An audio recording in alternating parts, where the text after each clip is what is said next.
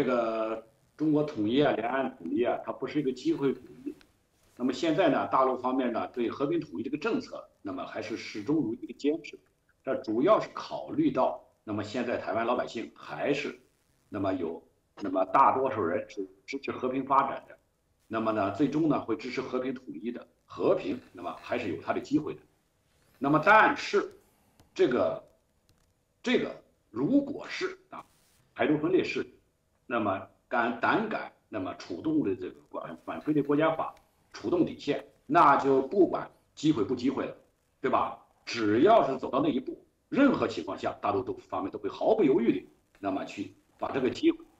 成果啊变成事实，这是没有任何问题的。但同时呢，你刚才在问这个问题啊，实际上告诉了啊这样一个事实，就是这个实力地位啊，那么对比啊在发生历史性的变化。中东为什么这么乱？为什么突然出现了有人问？是不是大陆发起啊统一的这样一种机会？为什么中美实力地位的消长、国际形势的变化，那么各国之间关系的变化，在造就了这样一种大势，有利于中国统一的态势。它同时也说明一个问题：那么人们会问，那么你中国大陆是不是有机会去制造这样一些态势？当然有了，有这个实力地位，也有这个机会去制造这样一种态势，让美国。呀，应接不暇，让美国无暇顾及，让美国啊左支右出，最后呢，我们以更小的代价啊去解决统一问题。我想这个呢，也是我们可以看到的问题的一个方面。当然，需不需要啊？说如果你是个在运作这种机会的话，那么那你的这个解决的理由或者解决的借口是什么呢？我的借口一点儿不缺乏，是吧？你看看赖清德从五二零讲话到这个五三零接受《时代周刊》专访。到七二幺那，民进党全代会，那么那个讲话建立台湾主体性的国家认同，对吧？到八二三炮战，到这个那个那个六十六周年那个讲话，到十月五号那个祖国论，再到十月十号，这样一系列台独论调，他那个四个不变，那是胡扯，那是每一个都在变。实际上呢，我很这个，从我个人来讲啊。那个研究台湾问题这么多年了，我在台湾也有很多朋友啊，包括江文修，那么我非常不希望两岸能够走到那一步。但是，嗯，你们现在这个领导人，啊，用一句简单的话来讲，他的确是在裹挟着一部分人，坚定地走在通向战争的道路上，坚定地给大陆一个借口，坚定地在刺激大陆。那么你看，有关的跟帖，在这次联合利剑二零二四 A 的台湾方面的一些跟帖。啊那就是说，大陆利用这个机会去一举出手，你就满意了吗？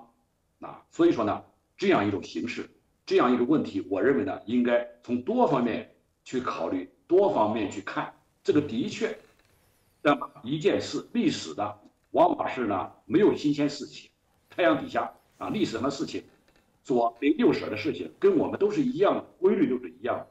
那么反思一下，俄乌是怎么样走向冲突？啊，那么巴以是我们怎么打起来，而且是连年的征战，一直到现在，那么迟迟得不到解决。那么对海峡两岸，我认为呢，